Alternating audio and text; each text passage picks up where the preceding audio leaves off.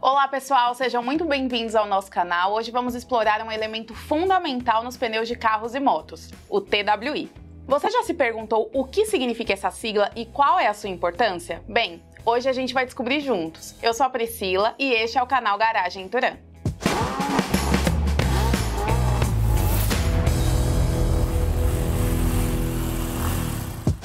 Vamos começar do começo. O que, que é o TWI? TWI é uma sigla em inglês que significa vixe.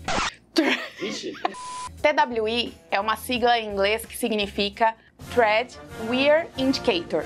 E em português podemos traduzir como indicador de desgastes da banda de rodagem. Basicamente, é um recurso projetado para ajudar os motoristas a monitorar os desgastes dos pneus e saber quando é a hora de substituí-los.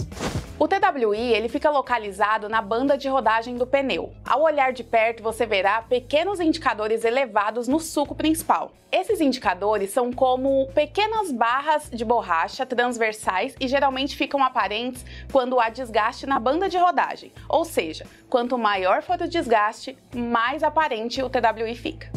E como que o TWI funciona? Bom, quando os sucos da banda de rodagem atingem o mesmo nível dos indicadores TWI, é um sinal claro que seus pneus estão desgastados e é a hora de substituí-los. Manter pneus em bom estado é crucial para garantir a sua segurança, pois pneus desgastados afetam a aderência, a estabilidade, o desempenho, além de poder levar a problemas mais sérios, como demora na resposta da frenagem e a perda do controle do veículo.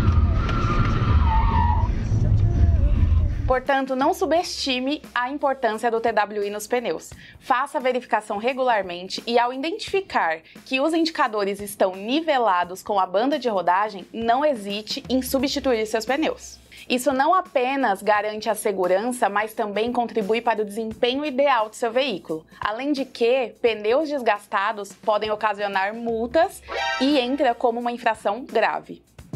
Se você gostou desse vídeo, não se esqueça de deixar um like, compartilha com seus amigos e se inscreva para mais conteúdos. Dirijam com segurança e até mais. Tchau!